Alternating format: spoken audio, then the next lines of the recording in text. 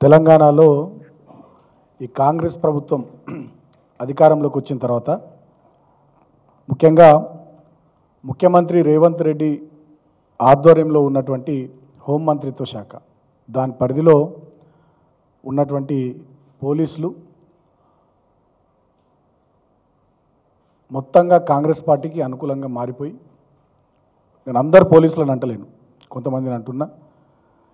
అత్యుత్సాహం ప్రదర్శిస్తూ స్వామి భక్తి ప్రదర్శిస్తూ కాంగ్రెస్ పార్టీ పెద్దలకు ఈ ముఖ్యమంత్రికి కాంగ్రెస్ పార్టీ మంత్రులకు ఎమ్మెల్యేలకు ఊడిగం చేస్తున్నారు. దానికి చాలా సంఘటనలు ఈ పది నెలల కాంగ్రెస్ పార్టీ పాలనలో నిదర్శనాలుగా తెలంగాణ ప్రజల ముందు దేశం ముందు ఉన్నాయి. గతంలో ఖమ్మంలో వరదలు వస్తే మా మాజీ మంత్రుల బృందం పెద్దలు కేసీఆర్ గారి ఆదేశం మేరకు మా హరీష్ రావు గారు అదేవిధంగా మా జగదీశ్వర్ రెడ్డి గారు సబితా రెడ్డి గారు పువ్వాడ అజయ్ గారు వీరు అందరూ కూడా పర్యటనకు పోతే అక్కడ వాళ్ళ మీద పోలీసుల సమక్షంలోనే దాడి జరిగినటువంటి విషయాన్ని గుర్తిస్తూ ఉన్నాం. మొన్నటికి మొన్న మూసి బాధితులను పరామర్శించడానికి పెద్దలు మా పార్టీ వర్కింగ్ ప్రెసిడెంట్ అన్న కేటీఆర్ గారి నేతృత్వంలో బృందం బయలుదేరితే పోలీసుల సమక్షంలోనే మా వర్కింగ్ ప్రెసిడెంట్ గారు కేటీఆర్ గారి కాన్వాయ్ మీద కారు మీద కాంగ్రెస్ పార్టీ వాళ్ళు ఎట్లా దాడి చేసిరో ప్రపంచం చూసింది. అదే కాకుండా చాలా చోట్ల తెలంగాణ వ్యాప్తంగా మా కార్యకర్తల మీద నాయకుల మీద అక్రమ కేసులు కానీ వేధింపులు కానీ అదేవిధంగా కాంగ్రెస్ పార్టీ నాయకులు పోలీసుల ప్రోత్సాహంతో చేస్తున్నటువంటి దాడులు కానీ ఇవన్నీ కూడా తెలంగాణ ప్రజల కళ్ళ ముందర ఉన్నాయి. అంతేకాకుండా సోషల్ మీడియాలో తెలంగాణ ప్రభుత్వం చేస్తున్నటువంటి కొన్ని తప్పుడు నిర్ణయాలను సోషల్ మీడియా వేదికగా ప్రజల దృష్టికి తీసుకొస్తే అక్రమంగా కేసులు పెడుతున్నటువంటి తీరు. అదే కాంగ్రెస్ పార్టీ వాళ్ళకి సంబంధించి మాత్రం పోలీసులు వాళ్ళ మీద కేసులు ఉండయి వాళ్ళ మీద బెదిరింపు చర్యలు ఉండయి వాళ్ళకు సంబంధించి ఏ చట్టం లేదు ఏ రూల్ ఆఫ్ లా లేదు. కానీ బీఆర్ఎస్ పార్టీ వాళ్ళకు మాత్రం అన్నీ వర్తిస్తాయి అన్నట్టుగా చాలా అతిగా కొంతమంది పోలీసులు ప్రవర్తిస్తూ ఉన్నారు. దానికి ప్రధానమైనటువంటి సంఘటనలు మనందరి కళ్ళ ముందర ఉన్నాయి. ఇవాళ ఇంకో సంఘటన ఈ మీడియా ద్వారా తెలంగాణ ప్రజల దృష్టికి నేను తీసుకొస్తా ఉన్నా. గతంలో నేను చెన్నూరు నుంచి ఎమ్మెల్యేగా బీఆర్ఎస్ పార్టీ తరఫున ప్రాతినిధ్యం వహించినటువంటి సందర్భంలో ఆనాడు కాంగ్రెస్ పార్టీ నుంచి అంటే అంతకుముందు ఆయన భారతీయ జనతా పార్టీలో ఉండే సడన్గా ఎన్నికల ముందే కాంగ్రెస్ పార్టీలోకి వచ్చినటువంటి వివేక్ గారు ఆనాడు కాంగ్రెస్ పార్టీ అభ్యర్థిగా నా మీద పోటీ చేయడం జరిగింది. ప్రస్తుతానికి కూడా ఆయన ఇప్పుడు కూడా కాంగ్రెస్ పార్టీలోనే ఉన్నాడు. ఇప్పటికైతే కాంగ్రెస్ పార్టీలోనే వివేక్ గారు ఉన్నారు. అయితే ఆ రోజు ఒక suitcase company vigilance securities అనేటటువంటి సూట్ కేస్ కంపెనీకి ఎన్నికల సందర్భంలో ఇక్కడ వివేక్ వారికి సంబంధించినటువంటి విశాఖ ఇండస్ట్రీస్ కంపెనీ నుంచి ఎనిమిది కోట్ల రూపాయలు ఆ సూట్ కేస్ కంపెనీకి ట్రాన్స్ఫర్ చేశారు. అట్లా కోట్లాది రూపాయలు అక్కడికి గోదావరి కానీ మంచిర్యాల తదితర పరిసర ప్రాంతాలకు ట్రాన్స్ఫర్ చేసి ఆ డబ్బుల్ని విత్డ్రా చేసి ఎన్నికల్లో ఖర్చు పెట్టారు సో ఆ సందర్భంలో నేను ఆనాడు బీఆర్ఎస్ పార్టీ అభ్యర్థిగా ఎన్నికల్లో పోటీ చేస్తున్నటువంటి తరుణంలో ఎలక్షన్ కమిషన్కు మా దృష్టికి వచ్చినటువంటి అంశాన్ని తీసుకొని పోయి కంప్లైంట్ ఇవ్వడం జరిగింది. సో ఎన్నికల కమిషన్కి ఇవ్వడమే కాకుండా ఆనాడు ఇన్కమ్ ట్యాక్స్ డిపార్ట్మెంట్కి అదేవిధంగా ఎన్ఫోర్స్మెంట్ డైరెక్టరేట్ డిపార్ట్మెంట్కి అందరికి కూడా కాపీలు పంపించడం జరిగింది. ఆనాడు ఉన్నటువంటి ఎలక్షన్ కమిషన్ కూడా పోలీస్ డిపార్ట్మెంట్ కూడా ఇది కోట్లాది రూపాయల డబ్బులతో ముడిపడి ఉన్నటువంటి అంశం కాబట్టి ఇన్కమ్ ట్యాక్స్ డిపార్ట్మెంట్కు ఎన్ఫోర్స్మెంట్ డైరెక్టరేట్కు వాళ్ళు కూడా లేఖలు రాయడం జరిగింది. సో దానికి సంబంధించి నవంబర్ రెండు వేల ఇరవై మూడు ఇరవై రెండవ తేదీ నాడు ఎన్ఫోర్స్మెంట్ డైరెక్టరేట్ వాళ్ళు వివేక్ గారికి సంబంధించినటువంటి మంచిర్యాలలో ఆయన నివాసం ఉండే హైటెక్ సిటీలో. అదేవిధంగా రామగుండం ఏదైతే ఈ విజిలెన్స్ సెక్యూరిటీస్ అనే bogus company suitcase company కార్యాలయం అని చెప్పి అడ్రస్ చెప్పారో వాటి మీద కూడా అదేవిధంగా హైదరాబాద్లో కూడా కొన్ని చోట్ల రైడ్ చేసి వాళ్ళొక అఫీషియల్ ప్రెస్ స్టేట్మెంట్ రిలీజ్ చేసిరు enforcement directorate official press statement రెండు వేల ఇరవై మూడు నవంబర్ ఇరవై రెండవ తేదీ నాడు వాళ్ళు ఈడీ వాళ్ళు అధికారులు రిలీజ్ చేయడం జరిగింది. దీంట్లో వాళ్ళు ఎంత స్పష్టంగా చెప్పినారంటే ఇది ఇంగ్లీష్లో ఉంది ప్రెస్ రిలీజు. నేను మన ప్రజలందరికీ అర్థం కావాలని చెప్పి తెలుగులో చదువుతున్నది దీన్ని. తెలంగాణ పోలీసుల సూచన మేరకు ఈడీ దర్యాప్తు ప్రారంభించి ఎనిమిది కోట్లు డాక్టర్ జి వివేక్ సంబంధించినటువంటి విశాఖ ఇండస్ట్రీస్ కంపెనీ నుంచి విజిలెన్స్ సెక్యూరిటీస్కి బదిలీ కావడం జరిగింది. దీనికి సంబంధించి ఈడీ దర్యాప్తులో విజిలెన్స్ సెక్యూరిటీ యొక్క బ్యాంకు ఖాతాలో ఎలాంటి నిజమైన వ్యాపార హేతుబద్ధత లేకుండా డబ్బును సర్క్యూటర్స్గా బదిలీ చేయడానికి ఉపయోగిస్తున్నారని మరియు డాక్టర్ జి వివేక్ అతని భార్య మరియు వారి సంస్థ విశాఖ ఇండస్ట్రీస్ ద్వారా విజిలెన్స్ సెక్యూరిటీస్తో వందల కోట్ల రూపాయలు లావాదేవీలు జరిగినాయి. ఆ సంస్థ కేవలం ఇరవై లక్షల రూపాయలు దాని తాజా బ్యాలెన్స్ షీట్లో ఆపరేషన్ల నుండి రాబడిగా చూపెట్టడం జరిగింది. అంతేకాకుండా ఒక అరవై నాలుగు కోట్ల రూపాయలు ప్రధానంగా దీర్ఘకాలిక రుణాలు అడ్వాన్సుల రూపంలో ఆ కంపెనీలో చూపెట్టడం జరిగింది. కంపెనీ ప్రారంభమైన నాటి నుండి కంపెనీ యొక్క ఇంపాక్ట్ బ్యాంక్ ఖాతాలో క్రెడిట్ మరియు డెబిట్ లావాదేవీలు చాలా కోట్ల రూపాయల్లో ఉన్నాయి. రెండు వందల కోట్ల పైచిలకు రూపాయల్లో ఉన్నట్టుగా ఈడీ వాళ్ళు ఒక ప్రెస్ నోటు చాలా స్పష్టంగా ఆ రోజు రిలీజ్ చేయడం జరిగింది. సో రిలీజ్ చేస్తూ వాళ్ళు ఏం చెప్పారంటే దాంట్లో ఫర్దర్ ఇన్వెస్టిగేషన్ కూడా ఇంకా మరింత లోతుగా మేము కొనసాగిస్తాం. ఎందుకంటే వివేక్కు దీనికి సంబంధించి ప్రత్యక్ష పరోక్ష నియంత్రణ ఉన్నట్టు మా విచారణలు మా ఈ సోదాల సందర్భంగా తేలింది. ఈ దర్యాప్తును మరింత వేగవంతం చేస్తాం. దీంట్లో ఫిమా ఉల్లంఘనలు విదేశీ పన్ను స్వర్గధామ దేశంలో డాక్టర్ జి. వివేక్ ద్వారా ఒక సంస్థను విలీనం చేయడంతో ప్రాథమికంగా ఫిమా ఉల్లంఘనలు కూడా జరిగినట్టుగా మేము గుర్తించినామని చెప్పి ఆ ప్రెస్ నోట్లో ఎన్ఫోర్స్మెంట్ డైరెక్టరేట్ రిలీజ్ చేయడం జరిగింది.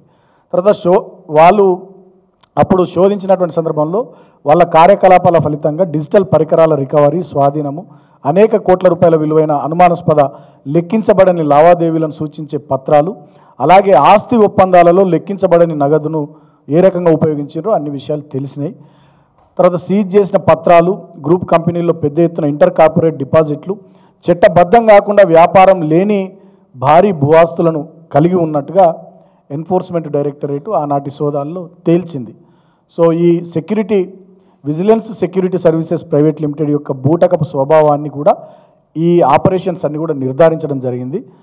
కాబట్టి మేము ఇంకా లోతైన విచారణ జరుపుతాం. ఇప్పుడు వీళ్ళు ఏదైతే అడ్రస్ ప్రకటించారో ఆ అడ్రస్లో కూడా అదేం లేదు అని చెప్పి ఆనాడు ఎన్ఫోర్స్మెంట్ డైరెక్టరేటు నవంబర్ రెండు వేల ఇరవై మూడు ఇరవై రెండవ తారీఖు నాడు విడుదల చేసినటువంటి ప్రెస్ నోట్ ఇది. అయితే దీనికి కొనసాగింపుగా మళ్ళీ జనవరి ఇరవై నాలుగు ఈ సంవత్సరం రెండు వేల ఇరవై నాలుగు జనవరి ఇరవై నాలుగవ తేదీన హైదరాబాద్లో వివేక్ గారిని పిలిచి వాళ్ళు విచారణ కూడా చేయడం జరిగింది. ఆ విచారణ చేసినటువంటి సందర్భంలో కూడా ఎన్ఫోర్స్మెంట్ డైరెక్టరేట్ వాళ్ళు చాలా విషయాలు చాలా స్పష్టంగా చాలా లోతుగా విచారణ చేసినట్టు వాళ్ళు కూడా చెప్పడం జరిగింది. అయితే ఈ ఈ ఈడీ విచారణ అనేది ఈ కేసులో కొనసాగుతుంది. ఇక్కడ అసలు విషయం ఏంటంటే ఈడీ విచారణ అనేది ఈ కేసులో కొనసాగుతుంది. కానీ దుర్మార్గంగా తెలంగాణ పోలీస్ డిపార్ట్మెంట్ వాళ్ళు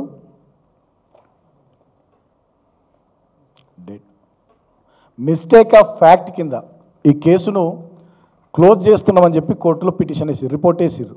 ఏ డేట్ నాడంటే అది ఎనిమిదో నెల రెండు వేల ఇరవై నాలుగు సంవత్సరం ఎనిమిదో నెల పద్నాలుగో తేదీ నాడు.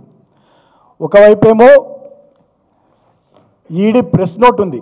ఎన్ఫోర్స్మెంట్ డైరెక్టరేటు కోట్లాది రూపాయల అక్రమాలు జరిగినట్టుగా కోట్లాది రూపాయల ఇల్లీగల్ ట్రాన్సాక్షన్స్ జరిగినట్టుగా కోట్లాది రూపాయల ఇల్లీగల్ ఆపరేషన్స్ జరిగినట్టుగా భూ లావాదేవీలు భూ ఆస్తులు వీటన్నిటికి సంబంధించి ఇంకా లోతైన విచారణ జరుపుతామని చెప్పి ఈడీ విడుదల చేసినటువంటి ప్రెస్ స్టేట్మెంట్ ఉంది. అదే కాకుండా దానికి కొనసాగింపుగా జనవరి ఇరవై నాలుగు ఈ సంవత్సరంలోనే హైదరాబాదు ఈడీ ఆఫీస్కి వివేక్ గారిని పిలిచి ఈడీ విచారణ రోజంతా చేసింది. మళ్ళీ ఫర్దర్గా కూడా విచారిస్తాము మళ్ళీ పిలుస్తామని కూడా చెప్పింది.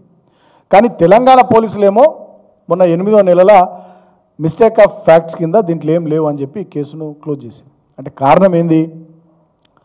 హోం మంత్రిత్వ శాఖ ఇవాళ ముఖ్యమంత్రి రేవంత్ రెడ్డి దగ్గర ఉంది కాబట్టి వందల కోట్ల రూపాయలు అక్రమాలు జరిగిన సూట్ కేస్ కంపెనీలు బోగస్ కంపెనీలు పెట్టి ఈ రకమైనటువంటి లావాదేవీలు ఎన్ఫోర్స్మెంట్ డైరెక్టరేట్ గుర్తించి అది విచారణ జరుపుతుండగా కూడా తెలంగాణలో హోంమంత్రిత్వ శాఖ ముఖ్యమంత్రి రేవంత్ రెడ్డి కింద ఉంది కాబట్టి ముఖ్యమంత్రి రేవంత్ రెడ్డి వివేకును కాపాడాలనే ఉద్దేశంతో ఈ కేసును పోలీసు వాళ్ళకి చెప్పి క్లోజ్ చేయించి క్లోజ్ చేస్తూ ఒక పిటిషన్ వేశారు. ఇవాళ దాన్ని మేము ఛాలెంజ్ చేస్తూ మా బీఆర్ఎస్ లీగల్ టీం మా భరత్ గారు జక్కుల లక్ష్మణ్ గారు అదేవిధంగా మా కళ్యాణ్ గారు అదేవిధంగా మా లలితారెడ్డి గారు మా కార్తిక్ గారు మా లీగల్ టీం అంతా కూడా కలిసి ఇవాళ ఒక ప్రొటెస్ట్ పిటిషన్ను మేము నాంపల్లి కోర్టులో వేయడం జరిగింది. డెఫినెట్గా ఇవాళ నేను మీడియా ద్వారా నేను వివేక్ చెప్తా ఉన్నా రేవంత్ రెడ్డికి చెప్తా ఉన్నా. రేవంత్ రెడ్డి గారు నువ్వు వివేక్ను కాపాడలేవు. వివేక్ నువ్వు ఈ విషయంలో నుంచి నువ్వు బయటపడలేవు. ఇవాళ ఎన్ఫోర్స్మెంట్ డైరెక్టరేట్ విచారణ జరుగుతూ ఉంది. ఇల్లీగల్ ట్రాన్సాక్షన్స్కి సంబంధించి అఫీషియల్గా ఎన్ఫోర్స్మెంట్ డైరెక్టరేట్ విడుదల చేసినటువంటి ప్రెస్ స్టేట్మెంటే ఉంది.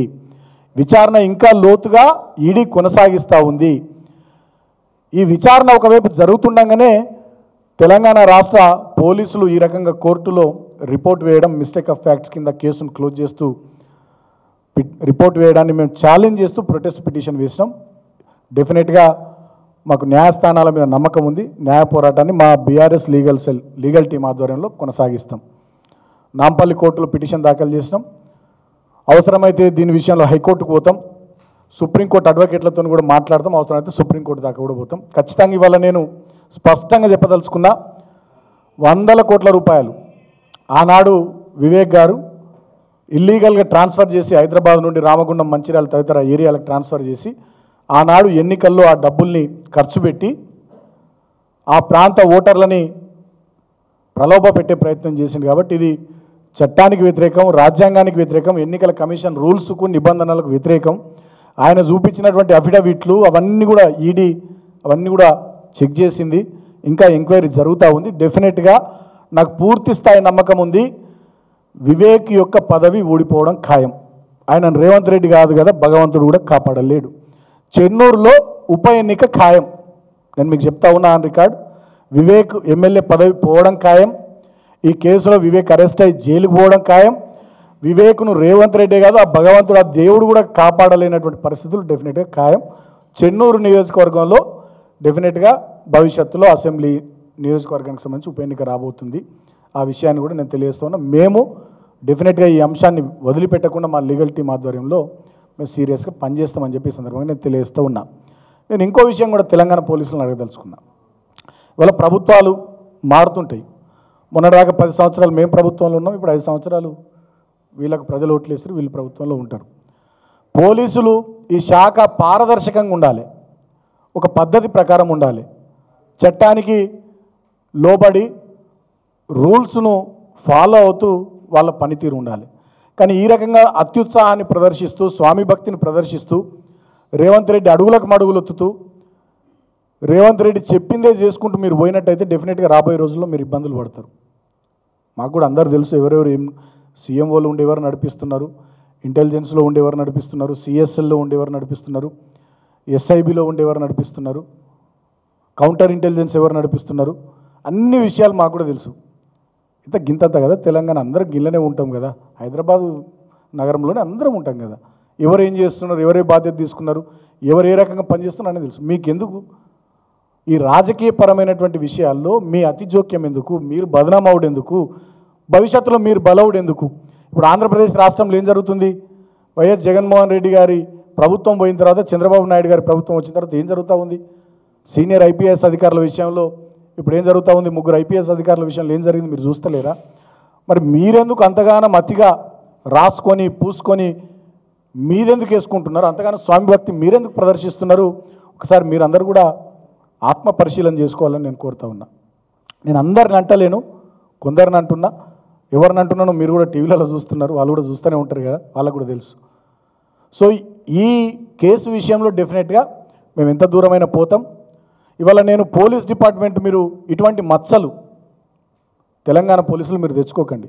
ఈడీ విచారణ కొనసాగుతున్న కేసులో మిస్టేక్ ఆఫ్ ఫ్యాక్ట్స్ కింద మీరు కోర్టులో రిపోర్ట్ ఎట్లు వేస్తూ కేసును క్లోజ్ చేయాలని చూస్తారు. ఈడీ విచారణ జరుగుతుంది కదా. ఎన్ఫోర్స్మెంట్ డైరెక్టరేట్ విచారణ జరుగుతున్నటువంటి కేసులో తెలంగాణ పోలీసులు రేవంత్ రెడ్డి చెప్తే వివేక్కు సంబంధించి ఈ కేసును క్లోజ్ చేస్తూ మీరు ఎట్లా నిర్ణయం తీసుకుంటారని చెప్పి నేను అడుగుతున్నా. మీరు చట్టానికి ఏమన్నా అతీతులా? రూల్స్ మీకు తెలివయా? చదువుకోలేరా? రేవంత్ రెడ్డి ఏది చెప్తే అది చేస్తారా? ఎట్లా పడితే అట్లా చట్టానికి వ్యతిరేకంగా పనిచేసుకుంటూ పోతే రేపు మీరు కూడా పీనలైజ్ అవుతారు. డెఫినెట్గా మీరు కూడా బాధ్యులుగా ఈ కేసులో పరిగణించబడతారు.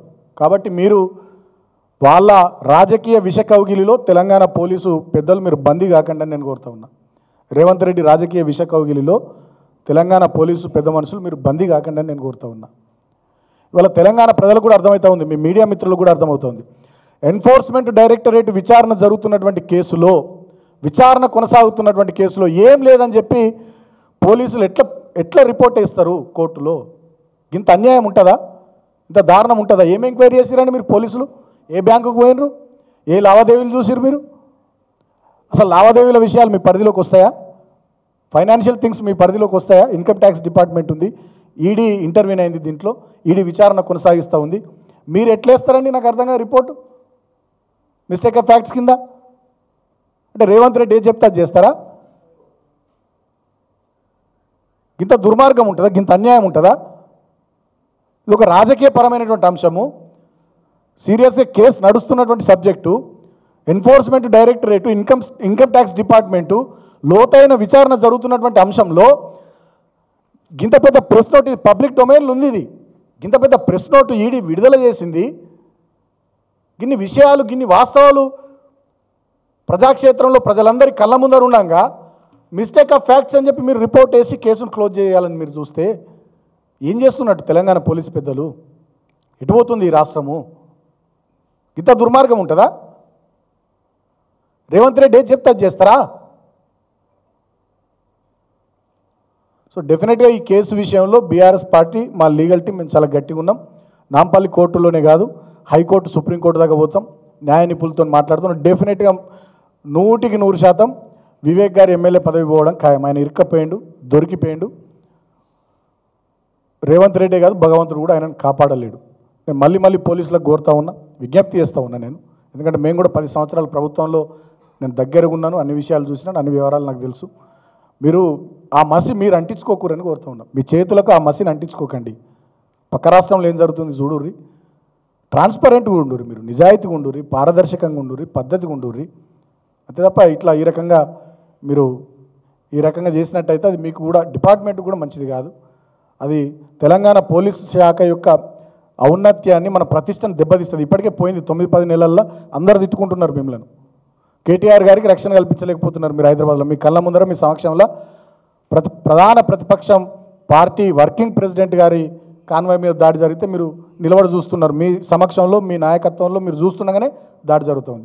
మాజీ మంత్రులు నలుగురు ఒక కారులు ఉంటే ఖమ్మంలో మీ సమక్షంలో మీ కళ్ళ ముందరనే ఆ కారు మీద దాడి జరిగింది. ముఖ్యమంత్రి సొంత గ్రామంలో ఇద్దరు మహిళా జర్నలిస్టుల మీద దాడి జరిగింది. నిన్న ఆక మొన్న ఒక ప్రవీణ్ అనే జర్నలిస్ట్ మీద దాడి. చాలామంది జర్నలిస్టుల మీద దాడులు జరుగుతున్నాయి బీఆర్ఎస్ కార్యకర్తలను చంపుతూ ఉన్నారు దాడులు చేస్తూ ఉన్నారు పోలీసులు ప్రేక్షక పాత్ర వహిస్తూ ఉన్నారు.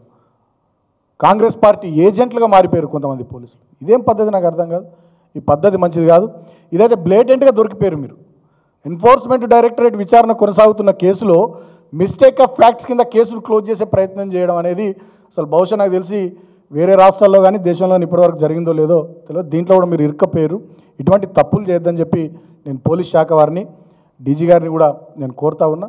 ఖచ్చితంగా ఇది ముమ్మాటికి ఇది మేము హైకోర్టుకు సుప్రీంకోర్టు వరకు కూడా పోతాం. న్యాయ నిపుణులతో మాట్లాడుతున్నాం. చివరిదాకా వదిలిపెట్టాం. ముమ్మాటికి వివేక్ పదవి పోతుంది. చెన్నూరులో ఉప ఎన్నిక వస్తుంది. రేవంత్ రెడ్డి కదా దేవుడు కూడా కాపాడలేడు.